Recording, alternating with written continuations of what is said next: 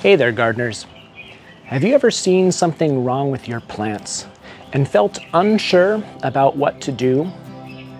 Maybe you grabbed the bottle of a pesticide or an herbicide and just started spraying in the dark before you even knew what was wrong.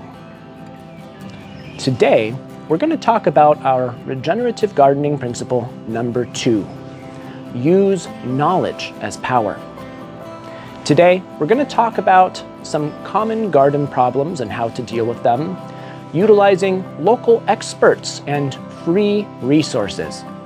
So, if you've ever had an issue that you didn't know how to deal with in the garden, this one is for you.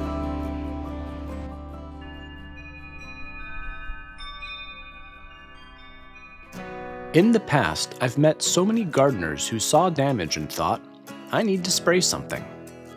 So they grab the first product they find a pesticide, fungicide, herbicide, whatever it is, and start spraying. But here's the problem they didn't stop to ask what was causing the problem. Was it a pest? Is it a fungal or bacterial infection?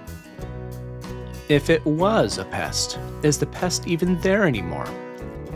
Was it a watering issue or a nutrient problem that just looked like pest damage? This is what I call spraying in the dark, and it's one of the most harmful mistakes you can make in a garden. A better approach? Slow down, snap a photo, start with questions instead of chemicals. This is where Integrated Pest Management, or IPM, comes in. IPM is a science based, thoughtful approach that helps you avoid unnecessary spraying and protects beneficial insects. Two important steps in IPM are identifying the problem and learning about it. Is that caterpillar a pest? Or the larva of a beneficial butterfly? Is that mildew from overwatering? Or is it actually a bacterial issue that calls for a completely different care? When you take time to understand what's happening, you make better choices and avoid treating the wrong problem. Let's get practical. How do you figure out what's wrong with your plant? Most smartphones today have built in ID tools or apps you can use, like iNaturalist.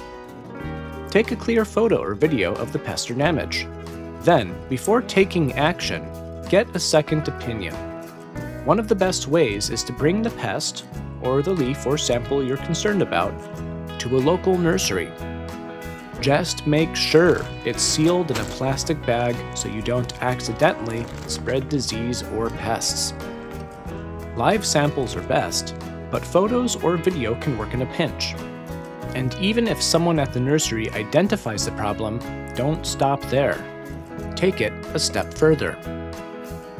If you live in Southern California, the UCIPM website is a fantastic resource.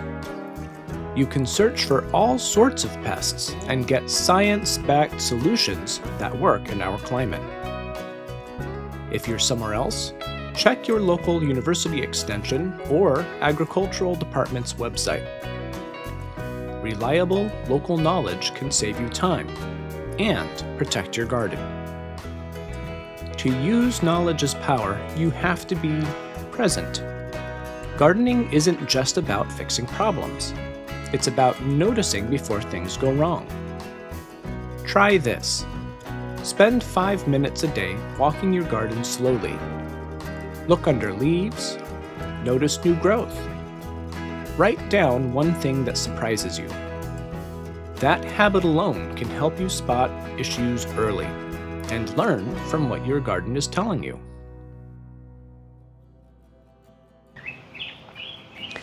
If there's one lesson to be learned from this video, it's this. Don't spray in the dark. Pause. Observe. Identify. Learn about whatever it is that you're looking at, and then you can make a decision based on knowledge as to whether or not you need to take any action at all. Now, every gardener makes mistakes. That's a part of life. I've made plenty. But every time you learn from your mistakes, you become more empowered. So don't give up. If you've ever made a mistake in the garden because you rushed in too quickly, share it in the comments so that we can learn from each other. In fact, uh, maybe I'll share one of my embarrassing mistakes in the comments below. now, thanks for watching. Take good care of your gardens take good care of yourselves. Bye for now.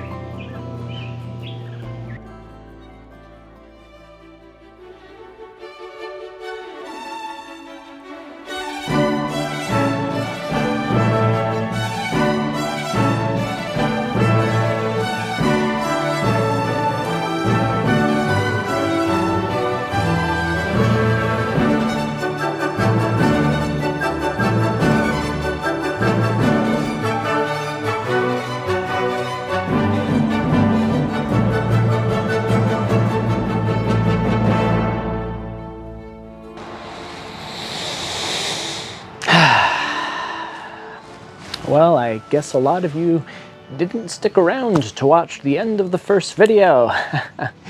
you see, I ate it. I ate the banana phone. But that's okay, because I have something even better now. I have a brand new piece of technology that I'm sure you've never heard of. It's called a cell phone. In fact, I've, I've got mine right here. Take a look.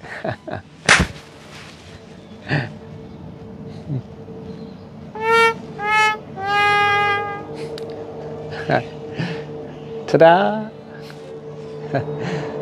okay, look, I know it's not the same as the banana phone, but I ate it. I ate the banana phone. And you can't undo your past mistakes. You can only learn from them. Oh no.